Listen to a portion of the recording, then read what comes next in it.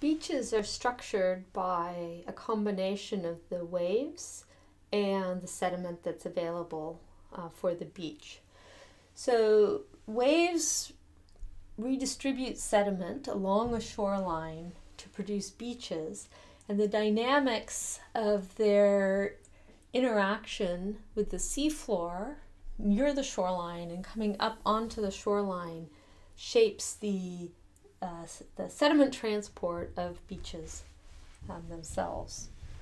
So waves move in the ocean, and when they start interacting with the sediment surface, there's a lot of friction, and that friction is what causes the waves to break. Um, the friction is slowing down the water flow speed at the bottom of the wave, but the top of the wave keeps moving quickly and it overtops uh, the bottom of the wave, and that's that's how you get the turbulence. So one of the things that that surfers know very well is that the topography offshore of a beach strongly influences the behavior of, of how and when those waves break.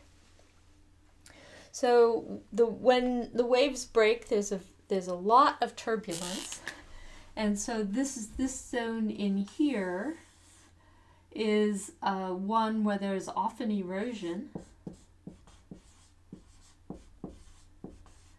And there's a lot of force of the wave and the water flow um, moving on shore. So a lot of the sediment that gets eroded during the breaker gets washed up the shoreline.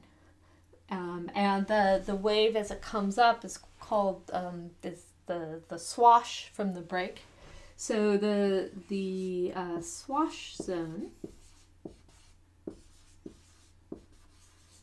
gets sediment transported onto it when the waves come up, and then the sediment um, gets uh, eroded back or transported back offshore as those waves retreat.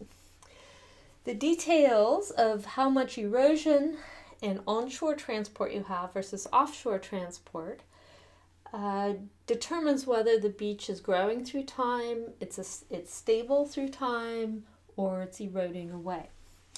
And so that, that process of the waves breaking creates layers of sand on the beach that are about parallel to the topography of the beach.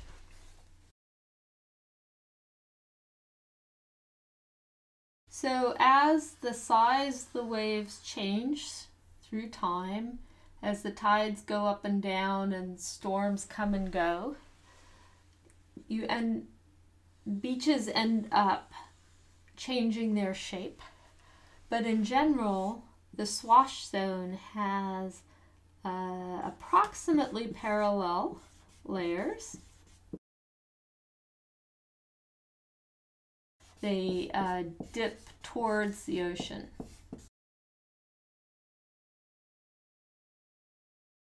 As the waves change, it erodes the beaches, deposits on them, but this is the these parallel uh, layers that dip towards the ocean are really common for beaches.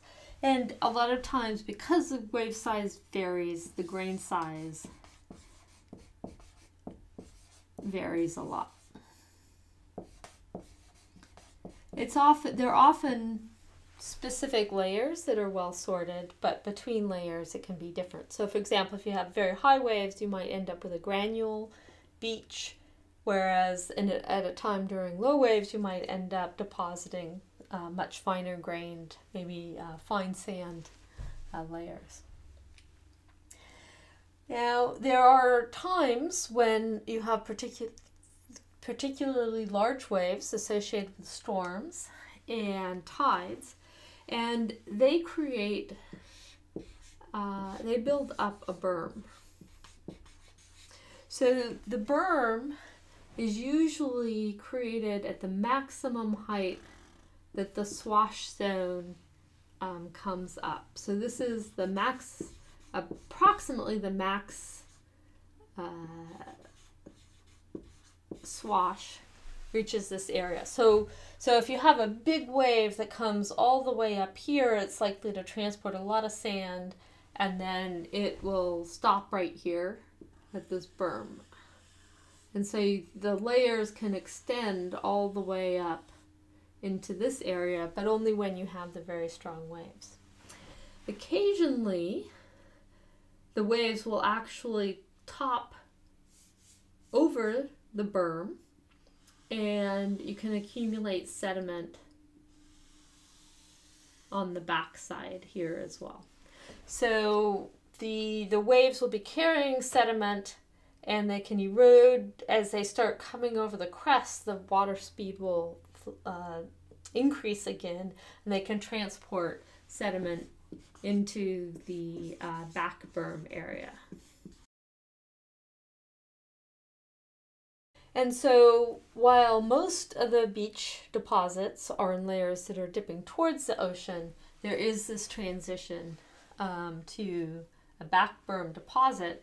And if the beach migrates away, uh, it will leave this topographic high uh, that is eventually called a beach ridge.